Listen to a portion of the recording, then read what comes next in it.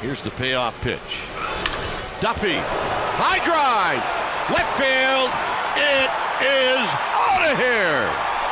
And this game is tied.